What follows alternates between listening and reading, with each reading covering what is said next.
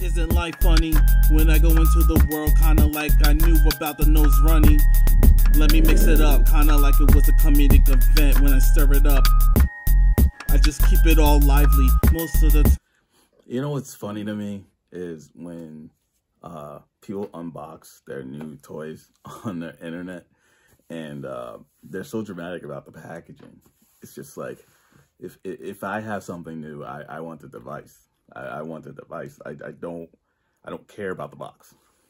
But it's so crucial nowadays that that if you don't show the, the contents of the packaging, it's it, it it's low ratings. Like you'll get you'll get down down votes. you know what I'm saying?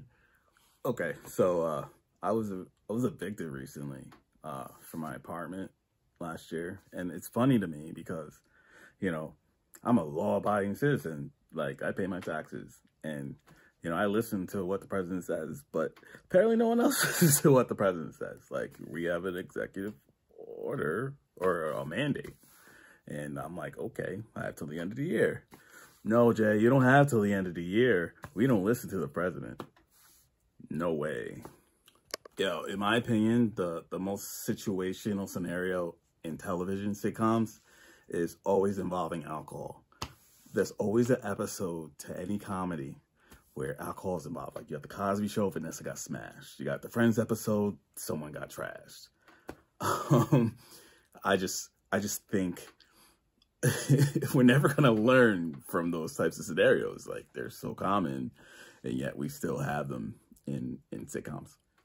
All right, so yo, uh, if I could try to mimic one character in my life, it would be President, former President Barack Obama, because uh, his pauses. You ever hear him give a speech or give a conference? You ever talk to uh, the American people and he'll like pause, like because, and it's the deepest, most profound statement that you've ever heard. But that pause, you gotta, you gotta find the pause.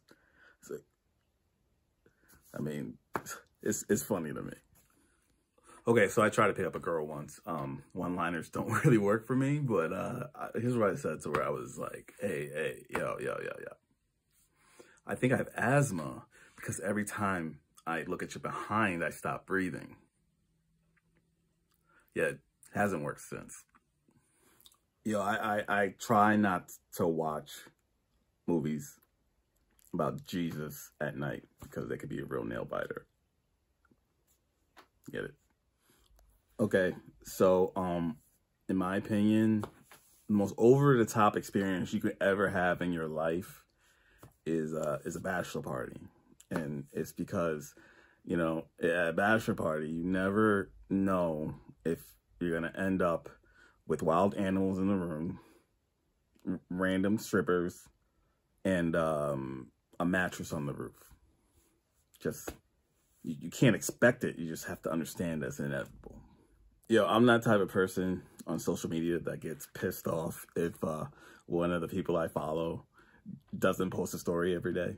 Because it's like, what am I going to do with my life? You know, I scroll constantly for no apparent reason. And now the person that I love virtually doesn't want to tell me about her day. That, that makes me sad. Okay, so someone needs to explain to me the meaning of a nod is as good as a wink to a blind bat. I've watched this movie 20, 25 years ago, and I, I I'm, I'm still a little lost.